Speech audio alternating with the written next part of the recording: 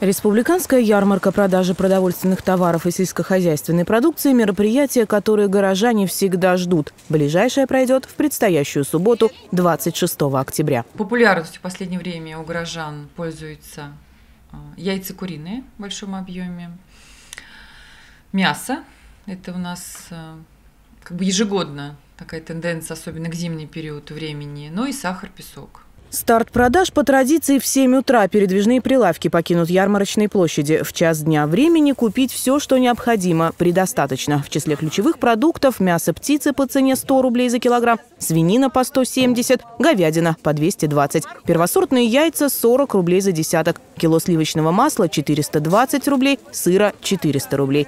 Мука от 13 до 18 рублей за килограмм в зависимости от сорта. Сахар 25 рублей за кило. Эти цены установили на правительственном уровне. Цены у нас, э, понятно, что рекомендуемые, но на ярмарке республиканской э, те цены, которые согласованы с руководством Республики Мордовия, завышать нельзя. Да? Что если вот установлена у нас цена 10 рублей за картофель, то есть эта цена должна быть соблюдена.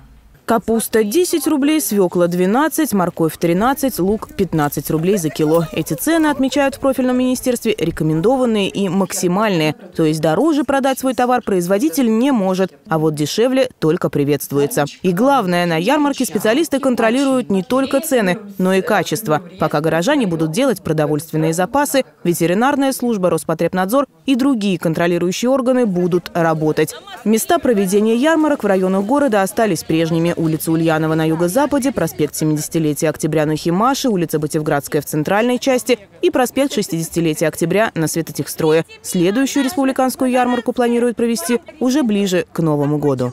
Светлана Лашина, Александр Зюзяев. Наши новости.